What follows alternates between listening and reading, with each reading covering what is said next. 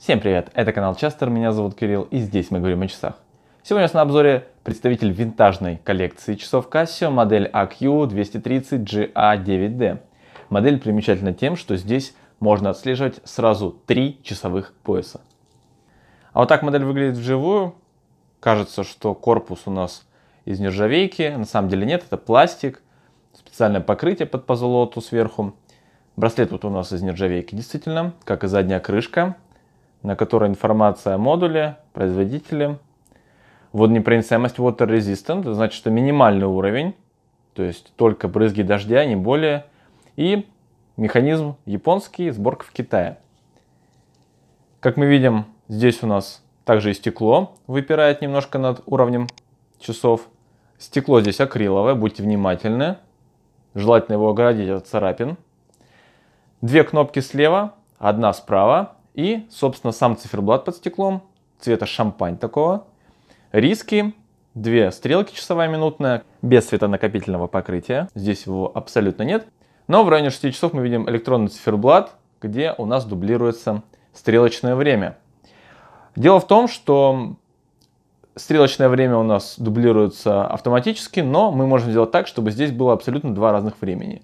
Одно время у нас будет на циферблате, другое показываться стрелками. Чтобы поменять время, которое указывается стрелками, мы используем правую кнопочку. Правая кнопка у нас, как мы видим, со специальными бортиками, чтобы случайно ее не нажать, так как при случайном нажатии у нас собьется аналоговое время. А так мы можем зажать кнопку и изменить положение стрелок таким образом.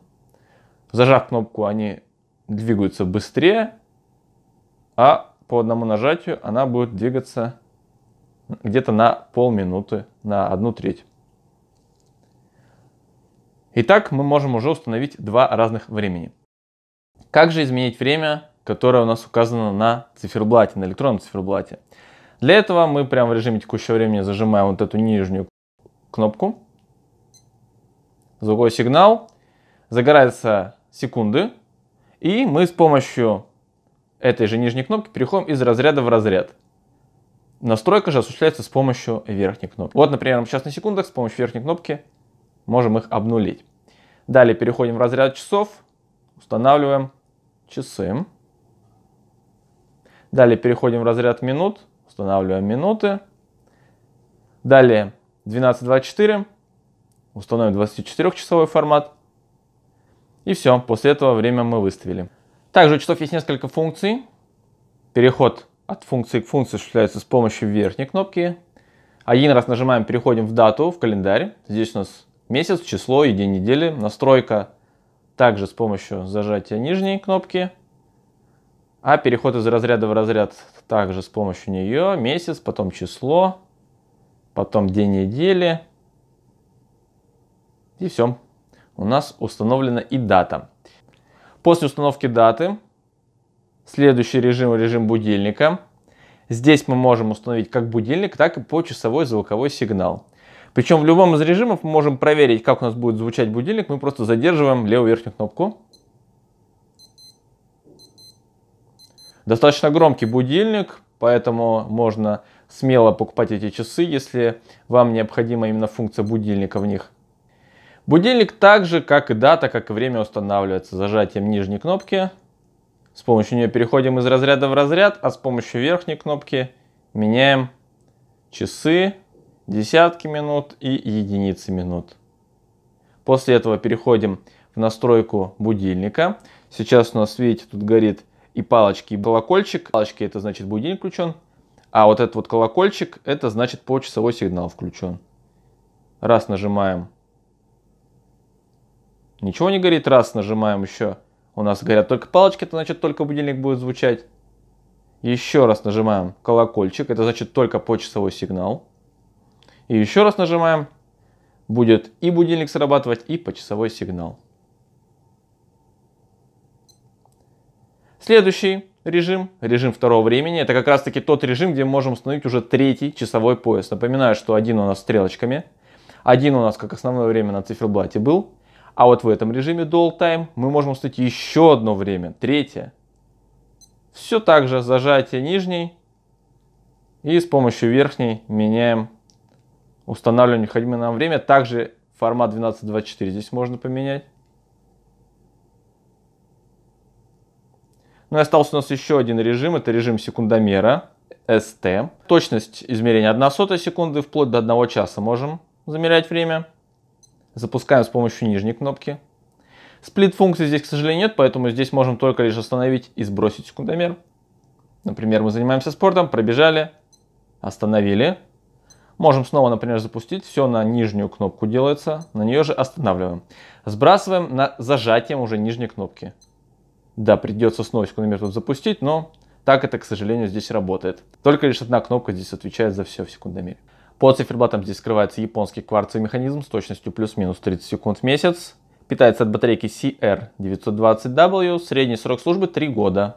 Естественно, чем чаще будете использовать функции будильника, функции секундомера, то тем быстрее будет батарейка у вас садиться. Ну а вот так часы будут выглядеть на руке. Небольшие габариты прекрасно смотрятся на средних и маленьких запястьях. Я думаю, они отлично подойдут и детям. Габариты здесь следующие. 39 мм у нас высота по краям мушек. Ширина 30 мм. Толщина 8 мм. Часы очень маленькие.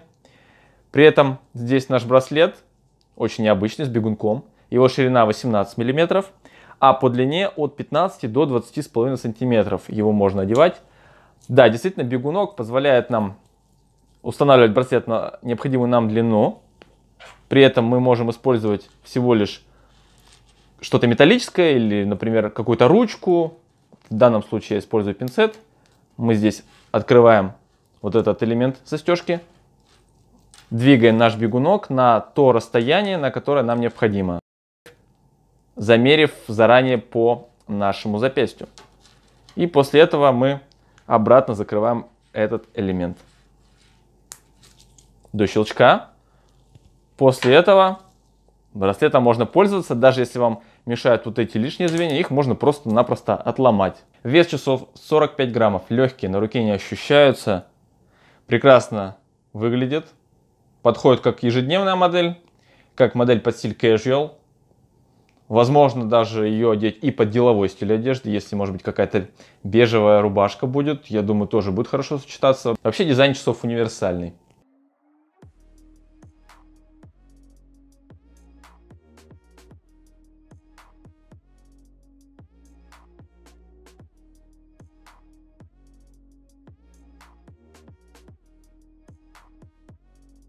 Подводя итоги, отмечу, что часы мне понравились. У них много плюсов, как я уже сказал, мне понравился универсальный дизайн. Также возможность установки сразу нескольких часовых поясов. Небольшие габариты. Возможно, для меня они слишком небольшие, но, тем не менее, габариты позволяют их покупать даже детям. И также еще отмечу удобство изменения длины браслета.